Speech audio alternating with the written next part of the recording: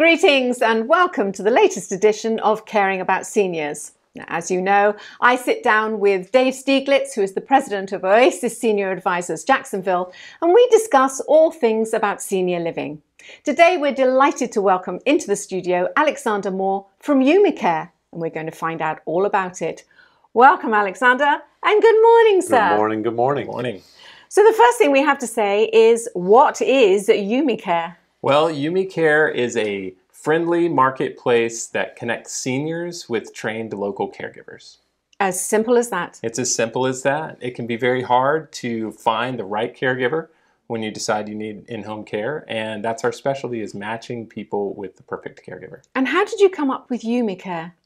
Well, it calls to a relationship. Um, it's about you and me. That's what the relationship between a caregiver and someone they're taking care of. And so uh, it was kind of a clever play on that. And what makes you different from some of the other places out there? Uh, the biggest difference is we are a platform. So we, we put the power in the hands of the people, so to speak, right? So uh, if you need in-home care, this is a big decision, and you should have um, you should you should be able to make a decision about who you're bringing into your home. And we felt that that was very important, so we wanted to provide a platform where you can um, get matched with the perfect caregiver for you, and that becomes your caregiver. Do you give advice to people on which way to go if they're completely confused? Yeah, absolutely. There's a, it's common. It's yes. common. Uh, it, it, you know, people find themselves in this situation and they don't know what the options are. So we take a very consultative approach on the front end to help people figure out what's right for them. And what does that first consultation look like? Um, it can happen over the phone or it can happen in person and um, it takes between 15 and 20 minutes. We we talk, we start with a consultation that says, "Well, tell me why you called today," mm. and we yeah. listen. Yeah, and that's mostly what we do in our consultations is listen and take in information because then it helps us um, figure out the type of care that the person needs. Mm and the type of support that they need, and then we can go out and figure out how to help them. Let's talk about the, the caregivers. How do you find them? How do you screen them? How do you support the caregivers? Absolutely. So when I first got into this industry, what I found out very quickly is there is a extreme labor shortage. 85% of home care agencies are turning away clients because they don't have the caregivers to support them. Correct. And as I looked into that issue, um, it's, it's a complicated one, but it, at the bottom of it, it's an economic one. Um, to be a caregiver in the US is not um, an incredibly lucrative job right now. It's something that I want to change because I think it's a career for the future. So what we did was we, we said, well, how can we use technology to lower the overhead cost of running a traditional agency and then deliver that value back to the caregivers in the form of higher pay which would allow us to recruit higher level caregivers and um, actually recruit people from different industries into becoming caregivers, which has been very interesting. So while everybody else has somewhat of a labor shortage, we're doing pretty well. Uh, the word has gotten out. A lot of caregivers are finding us and joining our platform. How long have you been running? Uh, we started a pilot in November to really test the whether we can recruit caregivers and get good quality caregivers onto our platform. And um, I'm proud to say we had a very, very successful pilot. Um, we've gotten the word out that UmiCare is out there and that there's an alternative um, where you can be an independent caregiver in the community, earn more money than you have before, and meet great clients that are right for you. When, when you um, do that initial consultation, do you find that some of the um, clients actually think that they need something and you're listening to them thinking actually you need something else. And how do you how do you actually explain that to them? I've found that that clients in in this situation they really want more advice. They're not sure what to do. Mm. um, a lot of times it's a son or daughter who calls and you know maybe that conversation started with you know they got a call as you know hey mom fell or something like that right? And so so then um, they call us they're looking for support but they don't know exactly where they want to start. Um, a lot of the conversation can um, you know be around well how much time of support do you think that you need within a week? is a conversation that we have with them Um, what types of activities do do they need support with? Um, and really, what does what does the the senior want? The person who's being taken care of. What are their wishes? Uh, what did they used to do? Uh, what's their level of independence? Right? Because we need to know all that information so we can tell what kind of level to bring of care to bring into the home. How, how do you see this uh, uh, Yeah. being useful for you? Well, I get again. I get calls of people that, that need advice and need direction as well, and not Yeah. all of them need assisted living. Yeah. A lot of them can still do well at home with just a little bit of assistance, a little bit maybe of transportation, or just help Mhm. with things because they can't do the meals or things anymore. So, absolutely, and to be able to have options. Um, I mean, I get a lot of calls that say, "Why don't I just get a live-in caregiver?" They have really no idea how this works Right. and they think that oh, I'll just find somebody that'll live in my house for free and, and, and they'll take care of me and it'll be a Shangri-La. And that really is not Right. realistic. But to have different options, different platforms, different way to, to do this and then to connect people, um, that way it could be an awesome option. For, Yeah, absolutely. And and we find that that preserving people's choice is important. It doesn't sound very important, but imagine No, your it sounds son. very important. Well, well, it, it it's it, choose it, the ability to choose who your caregiver is is important, and it's not mm. something that's out mm. there right now. And that's kind of what I'm fascinated with. How how do you make that match? How do they, you know, because Yes. you're actually doing some pre-screening, so you're not presenting every caregiver that you have, but We you kind of narrow it down to those that that are going to be able to match those specific needs that you've picked up on, and then that somehow gets on your platform, and then they still have then they have choices that Absolutely. are presented. Yes, so it's it's actually pretty neat, and this gets into the secret sauce a little bit. So, um, there are really four things that you need to consider when you're bringing a caregiver into your home. Um, one is is distance. If a caregiver has to drive a long way, even if it's for a four or five hour shift, the likelihood that that relationship is going to, to continue for a long term is it gets lower. Sure. So you want to have a tight territory management. You want to have caregivers in the areas where you're serving. Um, so location, availability is important too. Caregivers have lives. They have children. Um, some of them want to work weekends. Some of them want to work overnights. Um, and so their availability is an important factor that we take into consideration. And then training. So what level of care does this person need in the home? And um, so they may need a home health aide or a CNA level, or they might just need a companion.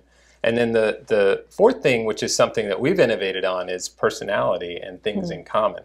Because again, the end goal isn't to just have somebody come in and do stuff for you, it's to create a relationship. All right, it's, it's what we look for in, in the assisted living side. Is anybody can find a room, but let's find a place that you can engage and thrive because the culture there matches what you're looking for. Exactly. And so you're doing the exact same thing. Find someone that that can be a, a friend. It's know, a- that- that- yes. It's it's about a match, and we've had we've actually had clients who have said, "My caregiver is my friend."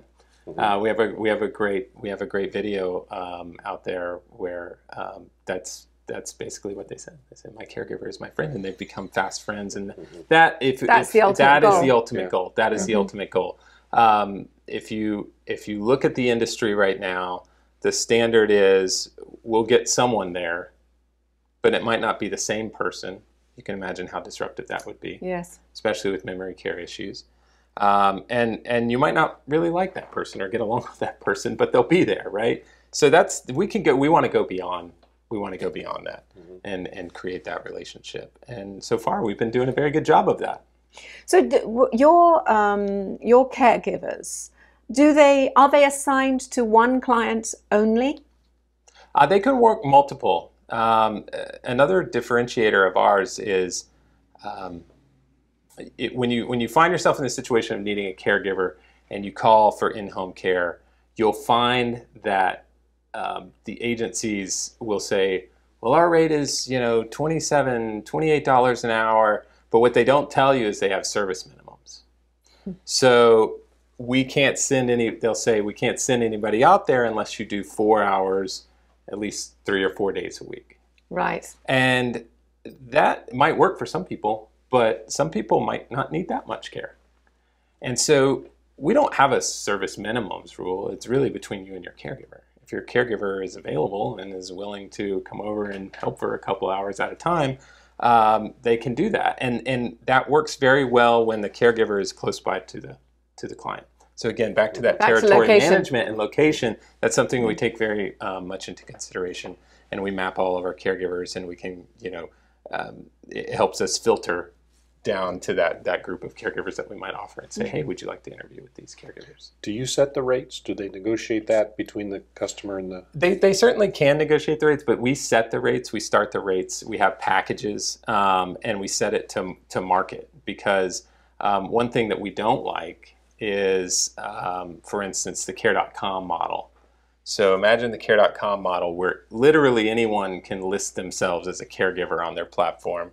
Um, and Is that is that true? they can yeah you can create a listing for yourself as a caregiver on the platform yeah and they have rating systems um, you know so you can see how how they host. do which is Yeah. which is that's fine um, but you also have to set your rates so imagine you're a caregiver now you've got this platform where it's a race to the bottom. Well if i want to get more customers i got to lower my rates and so you've got these caregivers that are you know it's kind of a race to the bottom in, in terms of value. But um, creating a relationship and helping support somebody in the home is very valuable. And part of our mission is to really change the game for what it means to be a caregiver in the us if you look at the stats i mean we've got 10000 people turning 65 every day for the next 30 years. Caregiving will be a career in the future and it's not going to be on par with you know working fast food anymore um, because companies like ours are going to change what it means to be a professional caregiver in the US. Absolutely. If anyone's watching out there that wants either your services or wants to be a caregiver, how do they find you? Well, they can find us on social media. They can find us on the web, www.umicare.com. That's Y U M I C A R E. And um, they can submit a form, they can call us. Um, either way, we'll be in touch. And um, it's very easy to get started. And we can actually fulfill services in most cases, same day or next day. Alex, thank you for coming in and talking to us about Umicare. It sounds fascinating and good luck with the future. Thank you very much.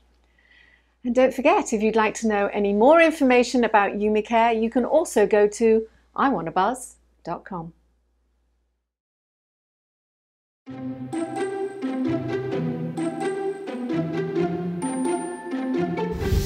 Absolutely, and this is this is an area that many of our veterans don't know about, um, but is so critical, especially with so many here in town. So, for our veterans, uh, the VA will actually help pay for assisted living. The basic requirements are you had to have at least 90 consecutive days of active duty during a declared war period. You didn't have to serve in theater. You could have been in Europe during Vietnam, but you had to have 90 consecutive days of active duty, and one of those had to correspond with a declared war period. That's your service requirement. Then you have to have a medical need for assisted living, and that's as simple as the doctor says you're a fall risk and he wants you to use a cane or a walker. That alone can get you uh, the medical need. And then the cost of the assisted living has to exceed your gross monthly income. That's not hard to do. Um, and then you can't have more than 127,000 in liquid assets outside of a trust. The house doesn't count, um, and things that are protected in a trust don't count. So if you meet all those requirements, for a single veteran, the VA will chip in $1,900 a month toward the cost of assisted living. It's a significant benefit. For a married veteran, it's almost $2,300 a month. And the, the, uh, the portion that really doesn't know about this benefit, the surviving spouses of our deceased veterans, the VA will chip in almost $1,250 a month for that. Um, it's a difference maker and really can, can get some people that were in a very difficult situation into a safe one.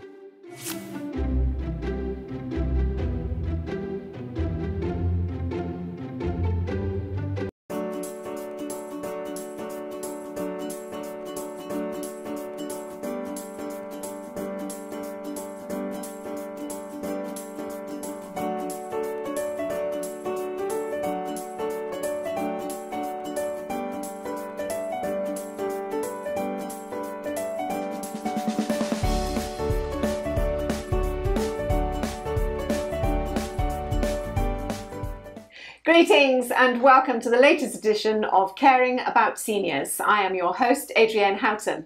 Now, as you know, I sit down with Oasis Senior Advisors Jacksonville and we discuss all things to do with senior living.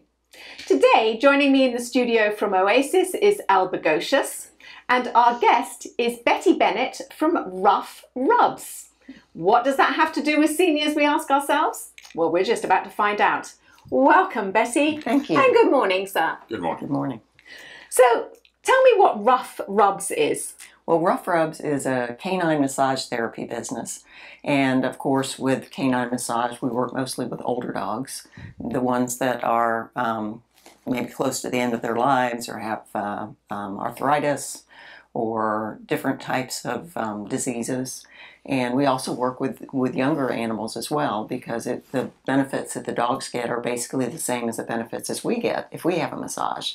So um, it relaxes them, it increases their blood flow, and it also helps their owners because, as we know, owners of animals almost take better care of their animals than they do of themselves. That's so true. when the animal is healthy, they feel more healthy. Yeah. So, tell me, I mean, you have you always done this? Have you always worked with dogs? No, actually, I haven't. When I was a kid, I did want to be a veterinarian, but I sat in on a surgery when I was about 19 and decided, no, this is not for me. so I went into the education field and I taught for 35 years before I um, retired from the University of North Florida in 2016.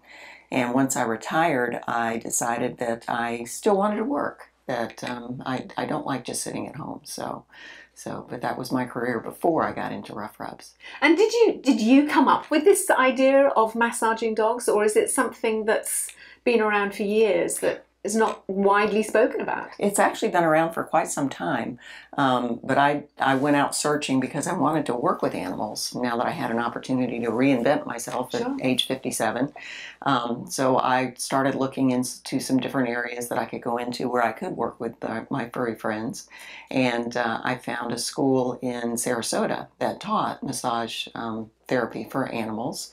And so a friend of mine and I started taking classes down there and did our 400 hours of certification and started the business, and that's that's where it went. How fantastic! Now, I mean, I, I'm sure, although the dogs um, find it beneficial, do you do you teach something to do for the um, the owners of the dogs to help them? Do you show them how to to work with them because it must be therapeutic for the owners as well as the It is. as It well as the dogs. And they're and and I've been very interested. Their um, owners of animals are just so interested in their quality of life. Yeah. And so when I come out um, to do the initial consultation and I do the study of the animal and watch their gait analysis and those kind of things, I can offer information to the owner as to particular types of therapies that they can use, whether it be um, heat or cold or showing them different types of techniques that they can use for the animals. Yeah. And that, that puts a little bit more back into their hands so that they feel like they actually have a part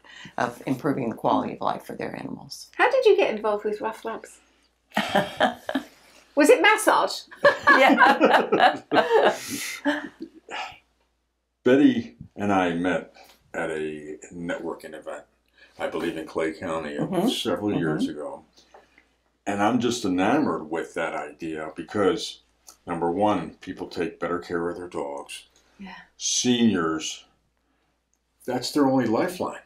For many of them, is their dog. And if you can make the dog happier, it's the best medicine for the senior. So, Mhm. I, I, I find what she does, and the reason why I wanted her here today is you can retire, but you don't have to expire. Very Oh. I like Very that well phrase. You yes. know, reinvent yourself. Yeah. Okay. I should be retired, but I love what I do, Mhm. so why not keep doing it? Yeah. So, Right, Wonderful. right. Yeah, no, no, I totally agree. Do you do you find that um, with your business that it's difficult to to market to to get your name out there to let people know what services you have available? Um, well, I think with that, the difficulty in it is explaining to people and helping them to understand that this is a legitimate business. I know when I first mentioned to my husband that this is what I wanted to do, he laughed at me because he said uh, massage for dogs, and that's kind of the general impression that, that other people have of it. But just getting that word out there and having opportunities like this, which I appreciate, to let people know that it is something that's very vital to an animal's life. And even if I've got some clients I see once a week, I've got some that I see once a month, um, some for specific disabilities or diseases, and um, it's beneficial for all of them. Sure. So, what other services do Rough Rubs offer? We also do pet sitting, and um, we can include the massage in with the pet sitting. And I also teach canine um, or pet CPR and first aid uh, for a company called Pet Emergency Education. I just finished teaching 65 people out at K9s For Warriors last week. So, and I love working with those people out there. They're just a shout out to those people. They're so Yes. passionate about what they do for dogs and for veterans. Now, in front of you, you have a you have a book. Yes. Tell me about this because you wrote this book. Yes, I did. I did. When I was at UNF, um, my I was kind of considered the expert on bullying there, and that was a passion that I had. My dissertation dealt with discipline and bullying and those kind of things, and I had we had some sad issues in my family that dealt with that as well. And so um, I just I wrote this about the time I was retiring, and my goal was to be able to get to continue my work with the schools and with the children to um, get them to, to speak up if they're being bullied, to not hold it all inside, because that's where we come up with the dangerous situations that we have with students harming themselves or even committing suicide. So I used this book to go out into elementary and middle schools and read it to the students as a way to start discussions, because it's about a little girl that um, gets bullied at school, and she comes home and she talks to her dog Millie and um, it's encouraging them no matter who they talk to just to talk to somebody. And even just talking about it helps to internalize what's going on. And other people could hear them talking as well while they're talking to while she was talking to millie. Are you still going to the schools? i have not. Covid kind of um, um, gotten away but um, i would like to start getting back out in the schools so i invite any teachers that would like me to come out just to get in touch with me and let me know and i'd love to come out and Absolutely. your students Absolutely. So we touched on it briefly. COVID. How did that affect your business? Um, I was able to stay in business, but I did lose some some clients because they didn't. You know, the idea that I don't have a, a brick and mortar shop, I actually go out to their homes where the dogs are more comfortable. So having someone coming into their home during COVID and bringing germs in and those kind of things. But since then, I have been able to build it back up. Of course, I lose a few. Um, considering most of my animals are seniors to begin with, I lose a few through death. But I have been able to acquire more. Yeah. And how have you found that this this business enriches your life? Oh my goodness. I just, I absolutely love what I do. I've, um, as in, as what Al said, reinventing myself. I wish I had found something like this earlier. Not that I begrudge being an educator because I love that too, but um, just the joy that it brings to me to know that the animals that I'm helping are also helping their humans, and pe- pet people are the best people in the whole world. Um, they're just so kind and so nice, and and you know, Al seems to be like a pet person because he exhibits all of those characteristics. And I'm sure the people that you come across, you you you you're able to um, refer them to, to Betty. Yes, and she hit up she hit upon a point that I'm I'm a pet person and I'm also a social media person and put a plug in for my dog Teddy. He has his own Facebook page and he Uh-huh. has 206 active members. Well, I'm sure that's more than a lot of people. Oh yes, oh yes, I've seen Teddy's fan page. Just go to Teddy's fan page and you could sign up. Oh, that's fantastic. That really is. So t- tell me, what's a typical day? I mean, there's probably not a typical day because each day changes. But what's a typical day for Bessie? Well, if I'm massaging, um, generally, uh, um, one of my most typical days would be a Friday, where I've got a couple of clients at, at three o'clock, a Chihuahua and a um, well, both of them are Chihuahuas. One is bigger than the other one, and then after that, that's out um, over in downtown, and then I drive to Doctor's Inlet, and I have Raven, one of my favorites, Rottweiler, um, just a sweetie and a half. And then over to Middleburg, and then I've got Daisy, who's a little beagle. And Golly gee. So that's all over the place, Mhm, literally. And the area that you cover is is Greater Jacksonville, St. Augustine, Clay County, downtown. Fantastic. So I, I, I don't mind the drive because I get to work with the people. And like I said, I just absolutely love what I do. Yeah, I think I think it's, I it's yeah, I think it's super wonderful. So, what advice would you give to someone who is thinking about retiring and is slightly nervous Mhm. about perhaps giving up their regular, hmm normal routine? I would say don't worry about it. That um, once you get into retirement, you can decide on whether you enjoy being just retired or whether you want to do something else. And, and it's, it's a way where you can reinvent yourself and, and fulfill goals that you never thought you'd be able to do. Yeah, And it's just so rich, uh, enriching. And you never want to le- lose the passion that you have for life. And when you feel like you're being able to do something that benefits others, whether it's dogs or people, um, do it. and how do people find you? Because I know there's going to be people who are watching this and I they're saying, so. "Ah, hope so." I'd like the book. I'd like to. I'd like to have my dog have a rough rub." Mhm. So, how do they find you, Betty? Well, we actually have a website. It's www.roughrubs.com. Very simple.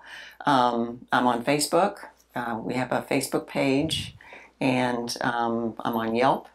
And they can just Google Rough Rubs and find us.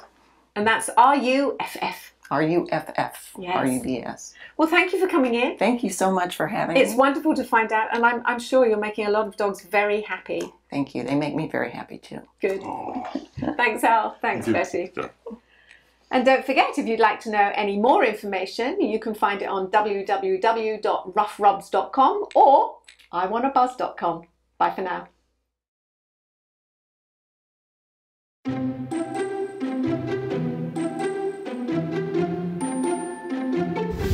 Absolutely, and this is this is an area that many of our veterans don't know about, um, but is so critical, especially with so many here in town. So, for our veterans, uh, the VA will actually help pay for assisted living. The basic requirements are you had to have at least 90 consecutive days of active duty during a declared war period. You didn't have to serve in theater. You could have been in Europe during Vietnam, but you had to have 90 consecutive days of active duty, and one of those had to correspond with a declared war period. That's your service requirement. Then you have to have a medical need for assisted living, and that's as simple as the doctor says you're a fall risk and he wants you to use a cane or a walker. That alone can get you uh, the medical need. And then the cost of the assisted living has to exceed your gross monthly income. That's not hard to do. Um, and then you can't have more than 127,000 in liquid assets outside of a trust. The house doesn't count, um, and things that are protected in a trust don't count. So if you meet all those requirements, for a single veteran, the VA will chip in $1,900 a month toward the cost of assisted living. It's a significant benefit. For a married veteran, it's almost $2,300 a month.